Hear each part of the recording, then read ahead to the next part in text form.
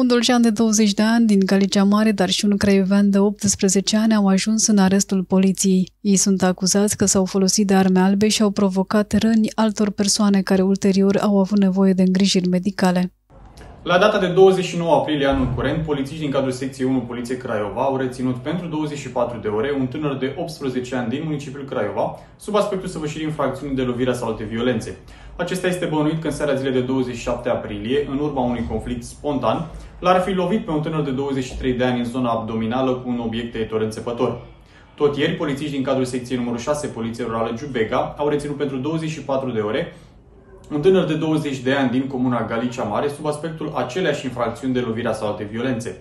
Și acesta este bănuit că în noaptea de 28 spre 29 aprilie, în urma unui conflict spontan, ar fi lovit cu un obiect tăitor înțepător un tânăr din comuna Moțăței. În cursul acestei zile, cei doi vor fi prezentați procurorilor de caz cu propuneri corespunzătoare.